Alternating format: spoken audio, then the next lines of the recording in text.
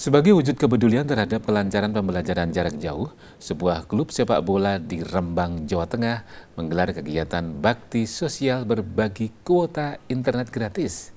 Pembagian kuota internet gratis ini terutama ditujukan bagi kalangan siswa kurang mampu.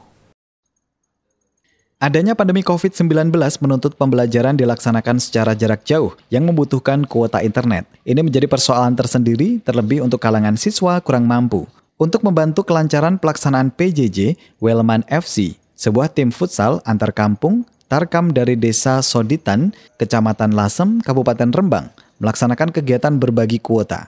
Wellman FC sendiri berasal dari kata well, yakni sapaan akrab di tim, dan man, yang berasal dari tempat latihan Man Lasem. Wellman FC sudah melaksanakan bakti sosial sejak tahun 2020, yakni berbagi sembako kepada masyarakat ketika Wellman FC melakukan pertandingan persahabatan di kampung lawan. Ismanto selaku sekretaris Wellman FC mengatakan, ketika memasuki pandemi COVID-19, bantuan dialokasikan menjadi kuota untuk siswa yang melaksanakan pembelajaran jarak jauh.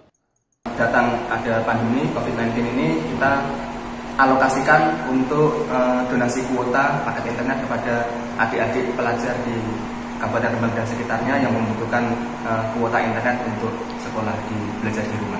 Sementara David selaku ketua Wellman FC berharap timnya selalu solid serta akan ada generasi penerus untuk melakukan kegiatan positif ini. Generasi penerus kami karena anggota kami tidak hanya pemuda dan uh, ada yang uh, usia 30 ke atas, tapi kami mencari bibit yaitu usia anak sekolah misalkan itu ada anggota kami nanti kita ajak latihan terus, kita ajak donasi terus, nanti generasi ini akan uh, bisa muncul setelah kami.